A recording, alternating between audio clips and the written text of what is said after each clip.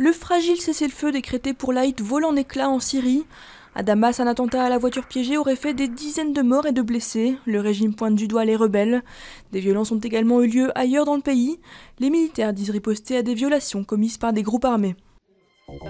Silvio Berlusconi, condamné à 4 ans de prison ferme, l'ancien chef du gouvernement italien était accusé de fraude fiscale au sein de son empire audiovisuel Mediaset. Le Cavaliere a l'interdiction d'exercer toute fonction publique pendant 3 ans. Il est en outre toujours poursuivi à Milan dans deux autres procès.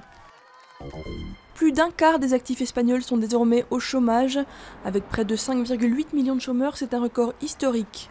La situation est particulièrement dramatique pour les jeunes, avec plus de 52% de chômage, des chiffres qui assombrissent les perspectives d'une sortie de la récession et alimentent un malaise social grandissant.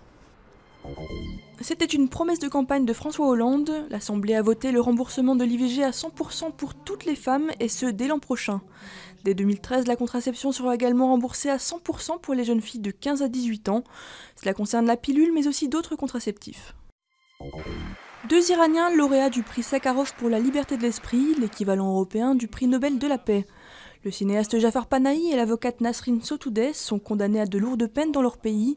Le Parlement européen considère donc ce prix comme un nom très clair à Téhéran, qui selon lui ne respecte aucune des libertés fondamentales.